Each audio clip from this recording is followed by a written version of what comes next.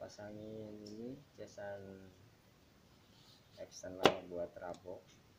karena yang di mesinnya yang di chip itu udah nggak bisa lagi komponen apa apa ini dipasang